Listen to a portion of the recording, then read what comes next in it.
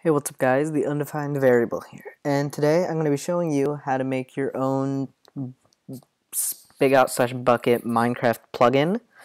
Um, so you can get right into it. Um, starting off with the basics. We're going to be coding with Eclipse, which is a an IDE program.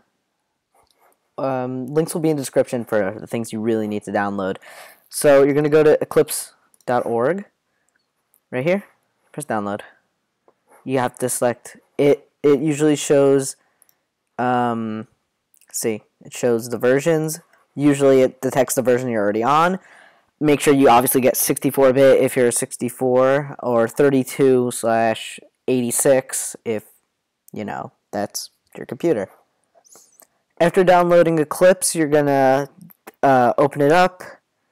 And before we do anything in Eclipse you're going to need to go, I'll put this link in the description, you need to download the Java JDK. From here, um, download this one, uh, sorry, that one, NetBeans with JDK 8. Uh, you click download, accept license agreement, just accept it, and you choose for your version. Alright, and after that, here is what Eclipse looks like. And I forgot to mention, you're going to need to download um, Bukkit slash spigot server jar, which will also be in the description. Uh, save that anywhere.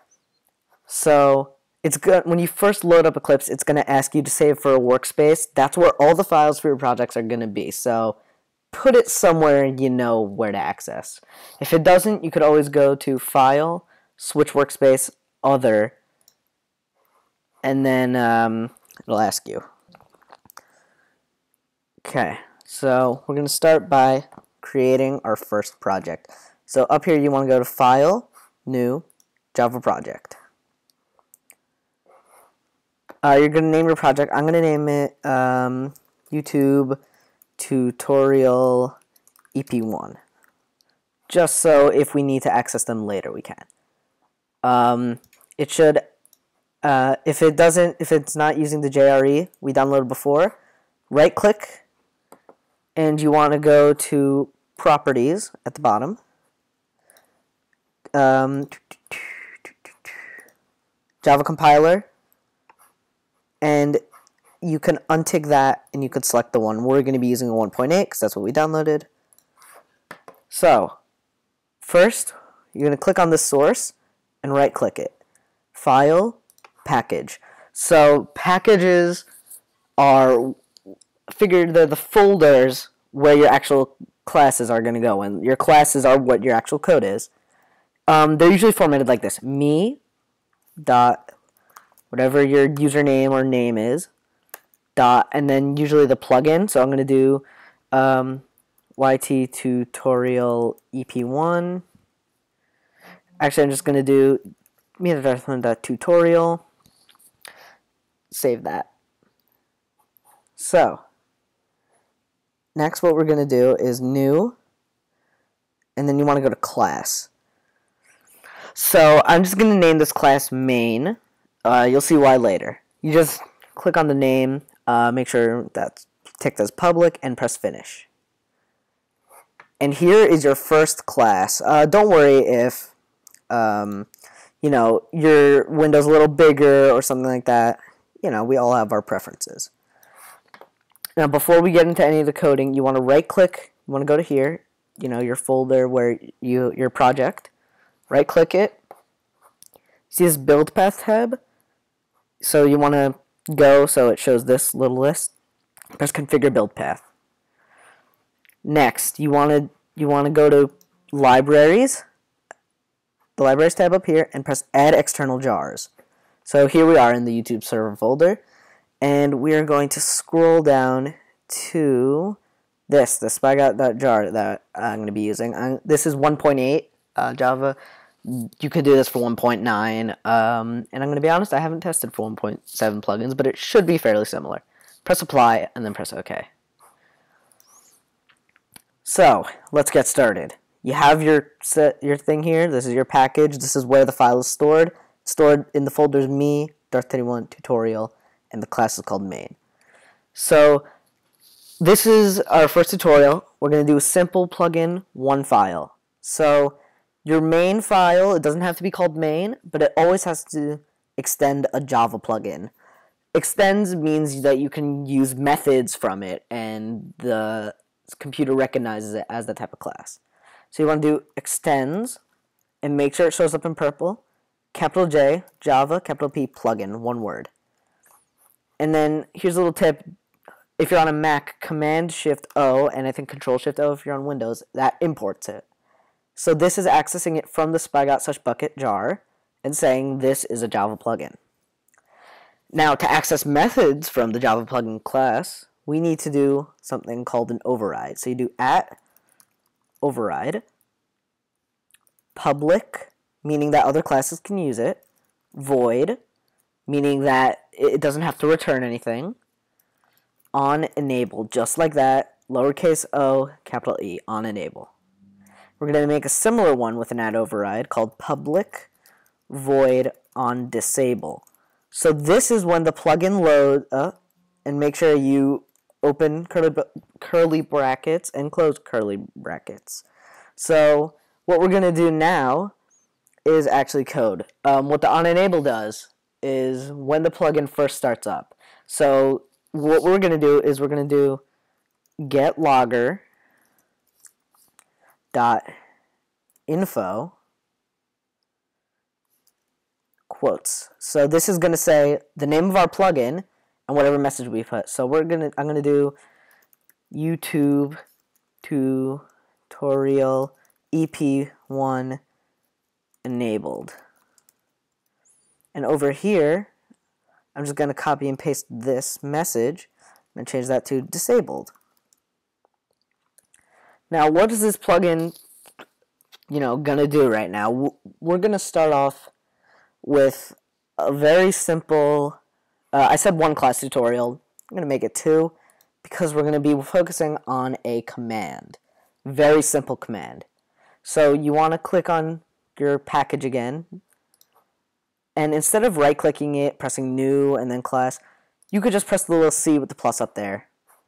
Name it, I'm to name it command. Uh, command. Okay. So our command is going to implement, is going to implement, Im, implement, can't spell, implement implements, and then you want to do command executor, and then import that from Bukkit. Now, your name of your class is going to be underlined in red. That's because uh, when it implements something, it needs uh, specific things. So you could hover over it and just press add unimplemented methods. It puts in an override just like we had in the main. I'm going to go through this. So, public boolean means it returns something. A boolean can return true or false. I'm going to have that return true. So, command sender arg. So that is the thing, I say thing, not person, that sends a command. It could be a console or it could be a player. So I'm going to name that sender. Next, org.bukkit.command. So this is the command itself that, that the person slash console runs. So I'm going to name that cmd. We're not going to focus on this. This is an alias for the command. And we're going to name this args. Uh, we're not going to be focusing with that either. That's for arguments. That's for later. So we're actually not going to be doing permissions right now, even though it's really simple. We're just going to do a different me message depending on if the sender is console or if, if the sender is a player. So let's get started. If sender instance of player and then open. So if the sender is a player, we're going to want to return true. And we're going to want to do sender.send message. Quote, I'm going to teach you how to do colors right now. So you want to do chat color, just like that. Dot translate alternate color codes. You can do TR and then double click that. So what this is going to do is close it. You put a single apostrophe and then the and sign in there. For those of you familiar with plugins like Essentials and stuff like that where you use and color codes, this is exactly what that does. So now we can do and B and L. A player sent the command. And then we could do an else after, so the if statement opens the curly bracket. After the end of the curly bracket, you do else, open it up. We're going to have it return true again, and we're going to do sender. Okay, we're going to do sender dot send message. Uh, we're going to do it in red, dark red, and the console sent the command. So you might say, okay, but what is the name of the command? I want to be able to change the name of the command. You go into your main and make sure it's in the curly brackets for the on enable. What you want to do is you want to do get command. Uh, make sure you have your parentheses, and in the parentheses, put the name of the command. So I'm going to do um, message dot set executor then you want to type new, whatever you named your class. So I named my class command, and then put parentheses. So that's telling it the command message runs from that class. And, uh, oh, I realized tutorial. I just realized I made that spelling mistake. Tutorial. The more you know.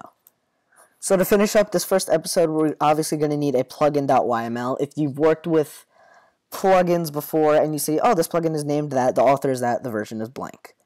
That's what we need. You need a plugin.yml to run this. So you, you want to right click it, new, file, you know, leave that. It already selects the folder. You want to name it plugin.yml. It opened it in Text Wrangler for me. So right now I'm in Text Wrangler, which is a text editing document for Mac. I don't know if it's for Windows. I think it is. So you want to do the following name colon the name of your plugin. I'm going to do tutorial EP1. Next, you want to do main colon, and we're going to do up here, you see the package me.darthteddy1.tutorial, me.darthteddy1, and you need, you know, caps and everything, just like it is tutorial dot and then the name of your main class, which is main. And I put a capital M there because that's the name of our class. Capital M. Next version, I'm just going to do 1.0. Next, commands, colon. Put a few spaces. Um, you know, I put like four spaces. Uh, so we're going to do message. You need to do the name of your command that you did there. You see my command name message colon. Oh, I already put a colon. Next line, a few more spaces, and we're, you need to do um, description colon um, main command for EP1 I'll do. And that's all you need. So save that. And now we're gonna go over actually using your plugin the fun part seeing your work pay off. So right click YouTube tutorial, scroll down to export. So you want to go to Java, jar file, not runnable jar file, but jar file. Press next. You don't need to do the class path and the pro. Okay, sorry about that, guys. I am back. Let's close that. My Eclipse was acting a little slow, so I decided to restart it. We have commands. Nah me that darth31 that uh, let's just name that tutorial ep1 i don't know if you can have numbers in there me dot darth31 dot tutorial dot main. Make sure that's right. Extends java plugin. All right. So now i'm going to export as java jar file next. Uh, we're going to do all the things uh, plugin yml things. So, let's do that. Jar file, browse, and we're going to save it as uh, EP1. And just press finish.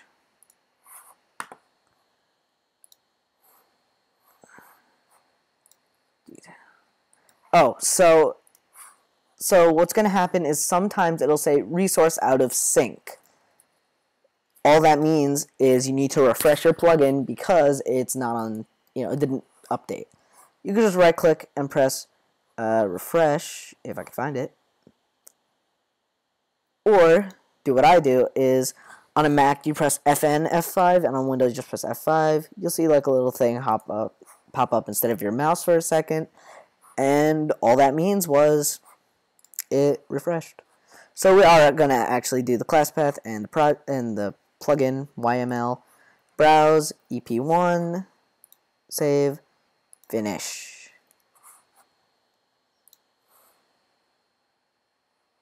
And see, confirm replace, uh, yeah. Okay. Okay, so here it is, EP1, plugins. Uh, let me delete that, that's an old version. Alright guys, so, uh, oh, I'm an Alex. Oh, the server's on offline mode. Um, doesn't matter. So that just means that my skins won't load right now. So if we reload slash pl, there we go. Our plugin is loaded, tutorial EP1.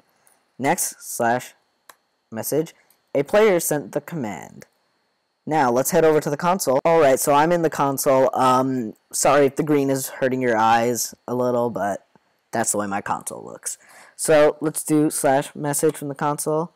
And as you see, in red it said the console sent the command. Anyway guys, if you enjoyed this episode and want to see more in-depth tutorials in the future, please leave a like, subscribe, and put comments below what you want to see for the next episode. I'm pretty much game for anything. Anyway guys, I'll see you next time.